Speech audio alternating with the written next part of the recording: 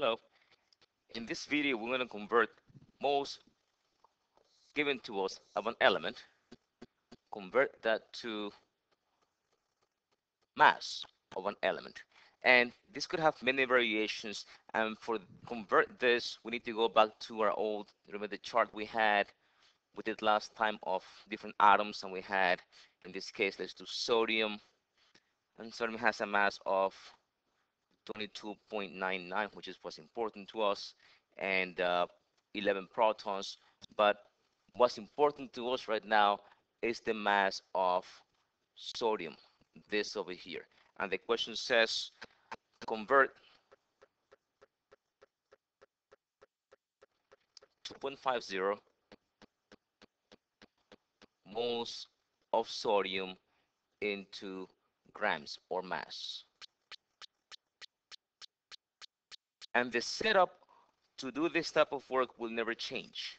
And if it does, it changes just according to the question.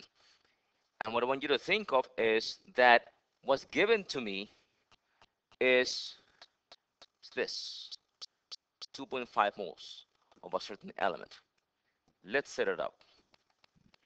So we will do given to me 2.50 moles of sodium because that's the element I'm dealing with that I just told you about. So let's add sodium to this, moles of sodium, to grams. Do a little T. At the bottom, if I have moles on top, at the bottom, I'm going to have moles at the bottom, and the standard is one mole. And then on top, what I will have here is the mass of the element. In this case, is 22.99. And that will be grams of the element.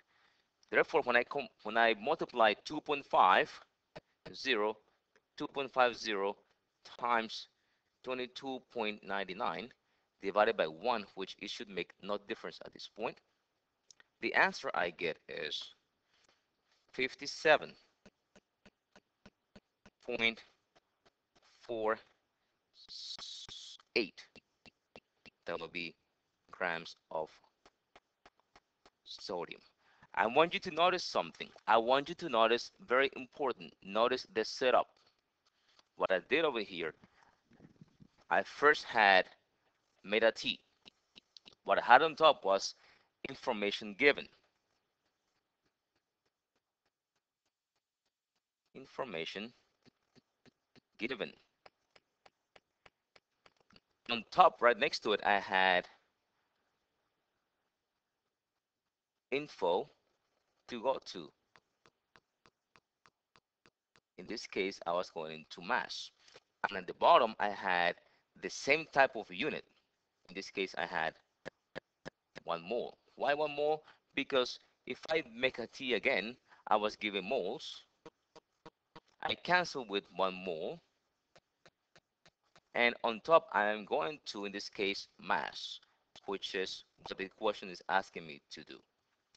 This is the setup that you should have for this type of questions always in order to be consistent and in order to be accurate. I hope this helps you out.